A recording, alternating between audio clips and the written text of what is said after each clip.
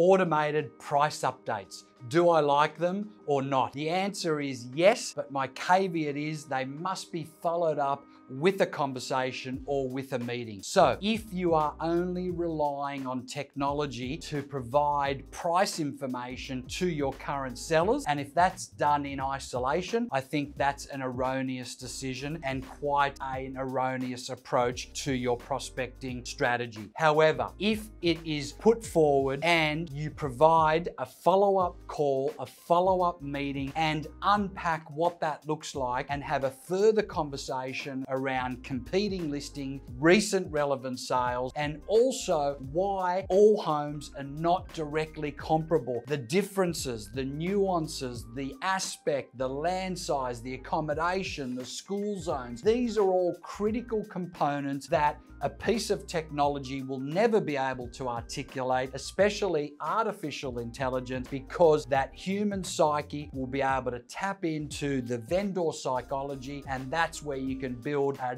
beautiful relationship, a long-starting relationship, and ensure that you're coming together with both technology and instinct and knowledge and also skill set and highly forensic product knowledge of your core market.